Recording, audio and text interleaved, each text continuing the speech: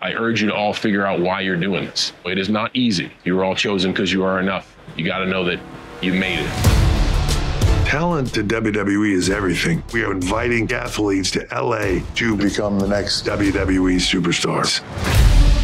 Somewhere in this group is the next Roman Reigns. Somewhere in this group's the next Charlotte Flair. We're looking for cardio, strength, and power, and someone our fans would really connect with. These athletes are our future. My dad risked his life coming from Cuba. I have all the opportunities that my dad didn't have. There can't be a good guy without a bad guy. I'm Braden Ray, ah! aka Sexy BJ Ray.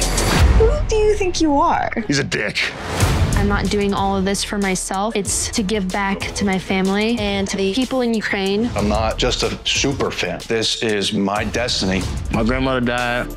She was like my mom. I always remember what she said. Go chase your dream, baby boy. My biggest fear is public speaking. I want to show the courage it takes even coming out here. My dream is to be a professional wrestler, and it seemed impossible.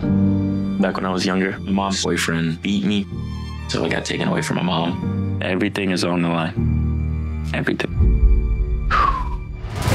My coaches are legends. Matt Bloom, Biggie, Shawn Michaels. It all looks like fun and games on television. It's a hell of a lot harder to do in real life. Medical! Look how bad her bruises are. There's nothing that's going to prepare you for this.